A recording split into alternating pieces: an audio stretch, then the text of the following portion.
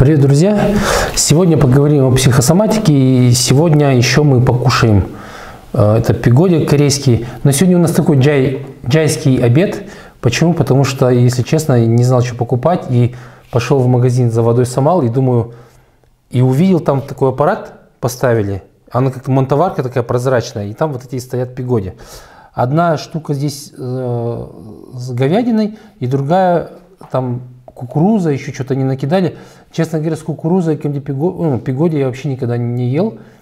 Хотя вроде это корейское блюдо, но мы здесь так не возвращаемся. Это вот южнокорейская, наверное, тема. Вот, поэтому э, следующий выпуск, я надеюсь, будет что-нибудь по как-то побогаче будет, что ли. Сегодня такой. Одна штука стоит 300 тенге, это примерно там 70 центов или там 60 центов, чтобы люди. И вот, и вот сама вода вы какую пьете, с газом или без газа? Мне нравится в последнее время почему-то с газом, но она как-то надутая, и мне очень это сильно пугает. Посмотрим. Выпусти пар. Взорвется, нет? Нет, не взорвется. А, нет, вот, видите? Все-таки сильно газированная вода. Очень. Вот, и попьем ее. Давайте для того, чтобы промочить горлышко, я бы сказал. Посмотрим и попробуем наши пигоди. Дрожжевые они, кстати. Очень многим нравится. В Астане я увидел еще такую, знаете, штуку, вам говорят, с начинкой или без начинки. Я это что значит с начинкой без начинки? Они берут его вот так еще пополам разламывают, туда морковку ложат салат и еще майонез с кетчупом. Но так не едят. Но в, в Астане почему-то все, ну, где я на базаре видел, все так едят. В общем, давайте попробуем. И потом уже про психосоматику скажу, потому что мне охота попробовать, насколько это вкусно, невкусно. Домашний, мне кажется, все равно вкуснее будет, ну.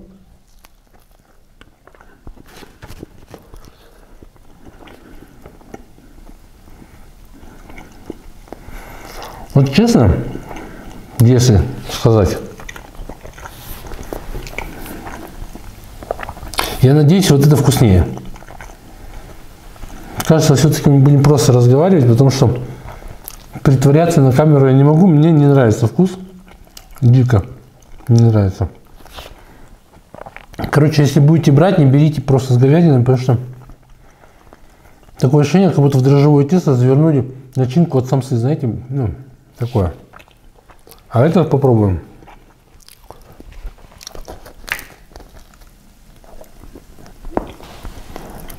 Я, ну, это не было бы Казахстаном.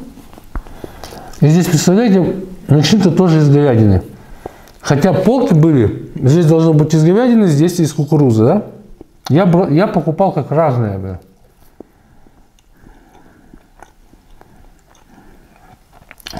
В общем, мой эксперимент закончился фиаско. Как в моей жизни так бывает, я не знаю. Вы что делаете вот так, когда вам невкусно, вы можете там типа, м-м, в ретесте, я, блин, почему-то врать не могу насчет еды, ну, я вообще врать не умею. А насчет еды вообще, еще на камеру. Никогда не покупайте такую дичь. В смысле, есть, наверное, вкусные и... Но здесь начинка вообще такая себе. Не знаю. Мне сильно не нравится. Ну, ну-ка. Дадим, нет. Дадим еще шанс. Шанс вы профукали. Я, честно, не, такого нет. Все, это надо убрать. Это есть можно, как это? Помните, Данди по прозвищу Крокодил, сейчас тест на возраст, фильм. Его когда спрашивали, как на вкус крокодила, он говорит, жрать можно, но на вкус дерьмо. Вот есть можно, на вкус дерьмо, вот число. Вот, психосоматика. Что такое психосоматика? Очень многие говорят, что это какая-то дичь, это неправ, неправда, шарлатанство какое-то и так далее. Да? Но психосоматические заболевания, они реально существуют. Причем существуют серьезные заболевания. Да? Мы же так и называемся байки с психологом, да? Или байки психолога. В том плане, что бывали случаи, когда человек приходил с каким-то заболеванием серьезным, и он выздоравливал. И скажу вам так, что из 10 человек, которые обращаются, ну, примерно трое, наверное, выздоравливают, а 7 человек либо поздно не пришли, либо сделали неправильный выбор, да, то есть, ну, вот так. И сейчас же очень часто у многих там других болезней же нету, кроме онкологии, знаете, вот сначала была онкология, потом коронавирус. У коронавируса тоже же есть психосоматика, э, типа живу не ярко, э, нежелание жить, э, нежелание дышать, то есть и это психосоматика на самом деле. Хотя, и, конечно, это вирус, там я все понимаю, там РНК, ДНК, там начинают там все. Я тоже поизучал чуть-чуть, но всем рекомендую, есть на YouTube канале, вообще на YouTube, YouTube канал не помню какой, биология поведения человека называется, о, называется ряд лекций, где очень грамотно и популярно объясняется, что такое не коронавирус, а вообще ДНК. И как связано с РНК это, да, потому что, как выяснилось, что в ДНК очень большую роль влияет вот эта цепочка вот этой кислоты, где нет никакой информации. И вот именно вот в этих в пустотах заложены команды, которые как реагировать будет иммунитет, как будет развиваться ДНК. То есть пункт управления это вот эти пустоты между генами. Могу что-то напутать, но в общем, кому сильно интересно, зайдите. Биология поведения человека – это стэнфордские лекции целый год. Я смог прослушать их, по-моему, 8 или 7, э, и у меня голова стала пухнуть, я дальше этот. Но начинает очень грамотно, очень аккуратно. Вот. Так вот, я очень сильно убежден, что у всего, что происходит с, тобой тел, с твоим телом, есть определенная психосоматика. А, эзотерики говорят вот так, что когда ты делаешь что-то, что не, со, не согласуется с твоим внутренним, э, с твоей внутренней душой, то есть с твоим внутренним я, то есть если ты совершаешь действия, которые противоречат э, как бы созиданию твоей души, то, то тело начинает болеть. Что это значит? Это значит, что если, допустим, ты что-то делаешь, и, и тебе кажется, что ты виноват в чем-то, у тебя будет болеть желудок. То есть это люди, которые всегда во всем виноваты, у них болит желудок.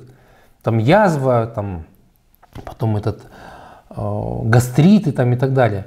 Почки – это страхи. Правая почка – мужские страхи, левая почка – женские страхи. А, печень – это агрессия и обида. Вот. Глаза – это нежелание видеть. А, Анатолий, Анатолий Некрасов говорит, что это духовная слепота у некоторых. Возможно. Потому что у меня был опыт, когда я пришел к нему на тренинг, у меня было зрение, знаете, у меня я не видел э, часов, время не мог посмотреть. И после первого дня тренинга у меня как бы я начал видеть, что у меня написано на часах. Это было для меня очень сильно удивительно. Сейчас у меня зрение как бы я вижу, но еще вот иногда перед, ну, время от времени мелкая моторика, она ну, пропадает. А вот мелкие какие-то части я, мне, мне приходится прям зрение напрягать. Вот. А, ноги – это нежелание идти. Руки не принимают то, что я делаю с собой. Да?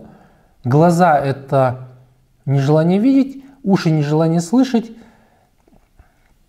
Вот, это вот то, что поверхностно, да, то, что вам, там, там, то есть еще может делиться, делиться там, бедра это прошлое, голень это настоящее, и, и стопы это будущее, да, то есть это твои действия какие-то, которые ты совершаешь и с которыми твоя душа не согласна. Это тогда, когда ты идешь не своим путем, не своей дорогой, и тогда у тебя внутренний конфликт вызывает вот эти вот психосоматические заболевания. Мое глубокое убеждение заключается в том, что даже если тебе, как этот, на Бронской на голову свалился кирпич, то в этом есть психосоматика. Помните мастера Маргариту, да? Кирпич на голову просто так никогда не падает. Вам, во всяком случае, он нисколько не грозит. Вот, то есть человек, у которого есть определенная судьба или этот, у него какие-то вещи случаются в любом случае. А, руки. Вот очень многие, этот большой палец, это не хочу отпустить. Если это на левой руке, это не хочу отпускать женщину, это маму, это сестру, это бывшую, это настоящую. То есть это вот они. Указательный палец все равно, по-моему, будет. Это тогда, когда я подавляю женщину, да, или у меня с ней конфликт, и я давлю. Подавленная сексуальность – это когда не дают. А подавленные эмоции – это тогда, когда ты не можешь высказать свои претензии кому-то, ну, женщине. И мизинец – это э, непримирение, да, это тогда, когда мы поссорились сильно. Или тогда, когда я не простил. Вот. На правой руке все, что связано с мужчинами. Не хочу отпускать бизнес, работу, мужчину. Не хоть, все равно, по-моему, будет это тогда, когда я подавляю и давлю, и вот только я знаю. Подавленная сексуальность, когда я в себе подавил. Если это у женщины, когда ну, подавленная сексуальность, это тогда, когда секса хочется, а, а ты как бы ее тоже подавленные эмоции с мужчиной, либо у меня, как у мужчины, я подавил свои какие-то эмоции, не хочу, и ссора. Здесь папа, брат, здесь начальник, ну все. Вот. Это вот быстро зубы. Очень часто спрашивают, с чем связаны зубы. Это зубы связаны со страхом, что ты не сможешь заработать еще денег. То есть это вот ну, такой, это же жевательные такие функции, это тогда, когда ты не уверен, что все получится. И еще агрессия бывает, это тогда, когда зубы крошатся, и ты злишься, это и не можешь победить, да, то есть это такая прям высокая боль агрессии. Вот, верить в это или не верить. А, потом поджелудочная железа – это тогда, когда я себя не хвалю, да, то есть это отсутствие внутренней похвалы. И люди, которые болеют сахарным диабетом, если вы попросите их сказать, там, похвалить себя за что-то, они не могут. И беда, знаете, в чем? Еще, что когда ты говоришь, тебе надо себя хвалить, многие люди не могут или не понимают различия между тогда, когда ты выпендриваешься, и тогда, когда ты себя хвалишь. А, то есть я там крутая, я там вот это, вот это не нужно, или я крутой. Нужно говорить, я молодец, да, я заправил постель, я молодец, я почистил зубы, я молодец, приготовил там еду, я молодец, купил воду, я молодец, полил цветок, я молодец. То есть себя нужно хвалить. Это отсутствие внутренней похвалы. Когда же нежелание, знаете, вот бывает у людей, когда не хватает жизненной энергии, тогда тело приобретает немножко, у европейцев синий цвет, а у азиатов чернее мы. Вот. Э, это тогда, когда жизненная энергия подавлена. Это тогда, когда жизненная энергия не идет. Это тогда, когда нет радости. Это тогда, когда не хватает сил. Э, и тебе кажется, что ты такой ленивый, на самом деле ты сильно устал и ничего не хочешь делать дальше. Вот это... Э, Что делать в таких случаях? Это тогда, когда ты чувствуешь холод изнутри, да, то есть ты когда чувствуешь, что изнутри у тебя, у тебя постоянно мерзнут ноги, руки, постоянно холод. Это значит, нужно поднимать свою внутреннюю энергию. Даю наколочку, если вы не хотите ко мне приходить, допустим, или вы хотите как-то это сами сделать, обратите внимание на кундалини-йогу. Это раз. Обратите внимание на дыхание Хоффмана. Это два. Это я сейчас говорю то, что вы можете сделать самостоятельно. Обратите внимание на э, око возрождения. Обратите внимание на бачату. Обратите внимание на прыжки с тарзанки. Э, обратите внимание на э, фаер-шоу какое-нибудь, но не посмотреть, а чтобы ты там сам, да, то есть там, где много огня, жизни, там, где охота жить, там, где страсть, то есть туда. Вот. Конечно, если ты сам изнутри такой подавленный, холодный, то тебе будет тебе будут эти задания немножко дискомфортно, да? Ну, немножко, а конкретно дискомфортно. Вот, но проделав это, у тебя ну, определенная энергия вернется. Но тебе нужно будет делать так, как ты самостоятельно это делаешь, тебе нужно будет делать это минимум полгода-год. Не надо с тарзанки прыгать каждый год, ну, каждый день. Это нужно один раз, чтобы ты понял, что хочешь жить. А, а вот бачату каждый день в течение года, кундалини-йогу каждый день, около возрождения каждый день. А, то есть дыхание Хоффмана каждый день. Это если ты хочешь сам себя ну, как бы вытащить, помочь себе. Вот. А, это психосоматика вот этого холода. Это хроническая усталость там же, да. А, если честно, то психосоматику видно по человеку, ну вот, так. То есть он встает, я начинаю с ним работать, и я подсоединяюсь к человеку на уровне биополя, если хотите, или там ауры, кто, кто во что верит. И я могу считать по мне,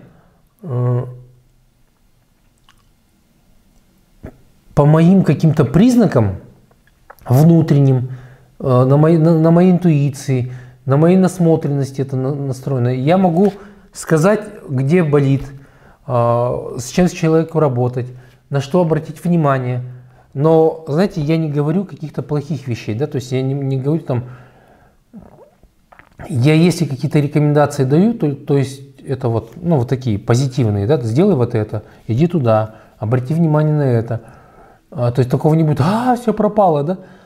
А, помните, в Гарри Поттере, в Гарри Поттере там, это гремлин. То есть так, такого не будет.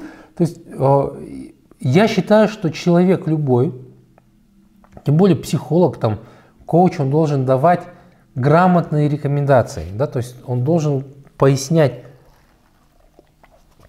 Так он должен показывать точки роста, а не точки, где все плохо. То есть ты должен здесь вот это сделать, ты вот здесь подрастешь. Здесь... Вот. И психосоматика, допустим, онкологии, чего мы начали, это обиды на людей. Да? То есть это очень важно прописать письма прощения. Я не, не говорю, что нужно отменять все лечение там, и так далее. Да? То есть в любом случае я считаю, что консультироваться с врачом и какое-то лечение нужно проходить. Но действительно ты ничего не теряешь, если ты будешь просто писать, пропишешь письма прощения, тебе будет намного-намного легче жить и воспринимать все. А,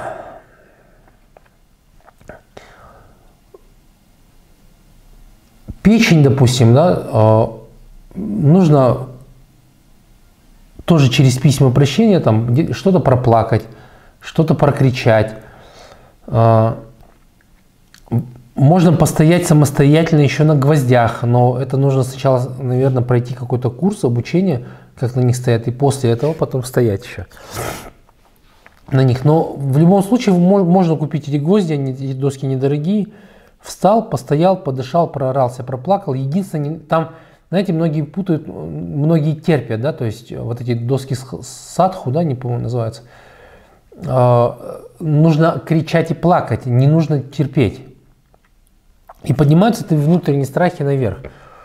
И даже один умник тут появился, что типа говорит, что это вредно. Вредно, когда ты стерпел, это правда. Ну, будет тебя там триггерить, кошмарить и так далее. Но если ты правильно все с ними проработал, то в принципе ничего страшного.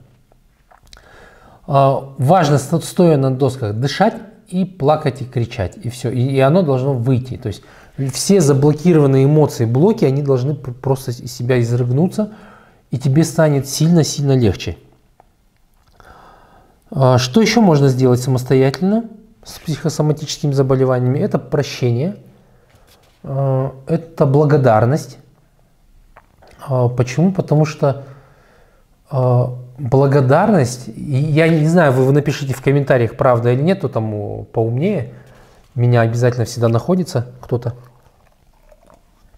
у благодарности частота вибрации выше, чем у любви. Это правда или нет? Напишите в комментариях обязательно. Почему? Потому что я так запомнил, но у меня сомнения, мне кажется, что любовь это самая высокая частота, которая вот, ну, есть вибрация.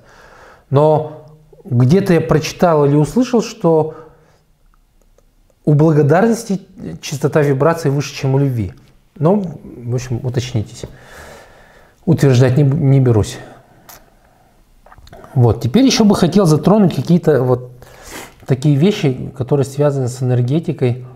Потому что многие не понимают, смотря мои видео, почему люди вдруг начинают плакать, да, они сидят и плачут. Некоторые люди приходят на мастер-класс, тоже ревут и не поймут, что со мной, почему я плачу. Мужики орут прям бывает, да, то есть у меня был случай, как-то приходит мужчина, знаете, он такой килограмм 120 весит, может 110, как я где-то. И он вот очень так сессия странно началась. Он вот так пришел, сел вот так, но ногу на ногу закинул и говорит, вообще я в эту всю херь вашу не верю. Вы представляете, с этого начинается сессия. Сессия идет там 40-60 минут, и когда она начинается вот в такой блокаде, то это ну немножко, э, это, это, ты понимаешь, что это сложная сессия будет. Но, как всегда, ярлыки не работают. И я сел, я говорю, ты знаешь, ты можешь мне не верить там, в эту всю неведомую хрень, но тебе ничего не мешает просто попробовать. Я говорю, пять минут подыши, я тебя отпущу. Он говорит, хорошо. Его привела сестра, по-моему, или мама, я не знаю, типа ему плохо, давайте ему поможем. И он встал, я говорю, закрой глаза, сделаю глубокий вдох, выдох. И он, я говорю, сделай там 20 вдохов и выдохов, только глубоких. И он стоит, дышит, и у него чернеет правая рука. Да? То есть она становится прям черная. Я говорю, какие у тебя взаимоотношения с твоим папой? Вот если честно, это прям яркий такой пример. Он упал на пол и начал орать просто, визжать. С него тек пот. Он... Это, это было ужасно, если честно. Я несколько э, был удивлен происходящим, потому что я его даже ну, не тронул. Я сидел просто вот так на диване, сидел на него, смотрел, а он вот по полу катается и визжит там, что-то орет. 40 минут это продолжалось, с него тек пот, он плакал, он кричал. В какой-то момент, конечно, я подключился, выдавил это все, там помог ему, в подушечку он проорался. И он, во-первых, поблагодарил очень сильно. Я говорю, что случилось? Ну, что с отцом было? Он говорит, когда ему было лет 5, может там 6 лет, и он на улице где-то играл, и отец пришел его, ну, типа, звать домой, и пришел он подвыпивший, и он его, ну, на пинках, да, то есть ребенок маленький, он, он говорит, меня пнет, я вот так падаю, лечу, и он меня опять пинает. И вот так он его как мяч футбольный до дома допинал. И говорит, у меня настолько эта злость внутри тогда была, которую я не проявил. И, и что получается? То есть человек вот эту злость пронес до 50 там с лишних лет, да? Эта злость ему давала в какой-то момент, возможно, силы, для преодоления каких-то. Этот опыт, возможно, давал ему какое-то терпение, агрессию там, и так далее. Но в счастливой жизни, для счастливой жизни это нет никакого от этого толку, понимаете? То есть человек не получил от этого никакой пользы. Мало того, отец ему травму нанес, и еще вот так. И на вот эту травму накручиваются все проблемы человека. Мало того, и так проблемы у человека, но у него еще накручивается поверх травмы, которую нанес отец. Этот мужчина пронес эту травму всю жизнь. Я так понимаю, что пол Казахстана с таким живет. Просто мужчины приходят реже, реже к психологам, там, психоаналитикам, психиатрам самостоятельно, во всяком случае. Вот. И представляете, и у него вот это все накрутилось. Это очень здорово мешает э, реализовывать свои какие-то планы, цели. И, конечно, у такого человека это, как называют, та, та, та пресловутая точка бифуркации. Тогда, когда уже все будет э, другим. Да? Тогда, когда э, так, как ты раньше жил, так ты уже не будешь, ты не сможешь. И поэтому это все вот так выводится. Вот. Поэтому так и возникает психосоматика, да, то есть и у так, такие люди, если болеют, они болеют вот этот, и после таких выходов, вот после таких всплесков эмоциональных э, выбросов из тела, конечно, тело чувствует себя лучше. Во-первых, ты сразу ты попадаешь в состояние, как будто ты вышел только после бани, или после массажа, или после офигенного секса, который продолжался три часа, да. То есть, ну вот что-то такое. И, конечно, и дышится тебе по-другому, и, и тело функционирует иначе. То есть, ну вот, круто. Поэтому, конечно, такие процедуры, они важны. А, и на фоне этого, этих выбросов проходят очень многие заболевания, потому что органы начинают по-другому себя чувствовать. Кровь идет, энергия идет, ну и так далее. Да? А, но это случайно. Вот само исцеление, оно происходит случайно. То есть мы вытаскиваем основной вот этот вот ком всяких каких-то деструктивных установок у человека, да, деструктивных эмоций, мыслей. Он это выгружает, и у него начинается новая жизнь. Но такой цели, просто какой-то период ко мне ходили, а у меня там сердце болит, а у меня там болит. Я говорю, я не целитель, да. Это, если какие-то вещи такие происходят, это случайно, я не специально. То есть я специально не могу там зрение восстановить, потому что был случай, когда зрение восстановилось у чувака. Он за мной две недели ходил, что ты сделал, а я ничего не делал, он друга привел, рядом просто сидел. Я с ним даже не работал, а у него зрение стопроцентное стало. Представляете? И если бы я знал, что я ему сделал, я бы сказал, я тебе сделал вот это, у тебя поэтому вот так. Понятия не имею, что произошло с ним. Но, видимо, что-то он услышал, что ему открыло глаза. Если бы я конкретно мог знать, что там, как зрение восстановить, точно со стопроцентной вероятностью, я бы, наверное, уже точно был там мультимиллионером, там долларовым, да, я бы зрение восстанавливал всем.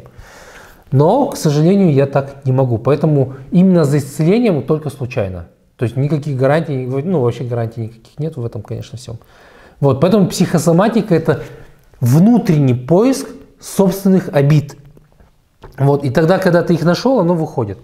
Но такой человек, как я, или психолог, коуч, он иногда он может найти вот эту психосоматическую, вот этот триггер, вот этот, его можно ковырнуть, психолог может, да, провалить тебя в те деструктивные э, эмоции, и их выпустить из себя. Как джинна из бутылки, он выйдет, и у тебя все пройдет. И отсюда выходит там оздоровление, исцеление и так далее. Поэтому э, вот так. Напишите тоже в комментариях, верите вы в психосоматику, не верите, в энергии верите, не верите, потому что следующие эфиры, я так понимаю, они будут все, ну, такие сложнее, с более такими э, тонкими вещами, но давайте посмотрим, как пойдет. Ну а на сегодня, наверное, все. А, всем хочу пожелать а, удачи, сил, здоровья. Нажмите на колокольчик, поставьте пальчики вверх. Увидимся, друзья. Пишите в комментариях темы, которые вас интересуют. И мы их обсудим за стаканчиком воды, еды или просто так. В общем, приходи еще. Байки психолога.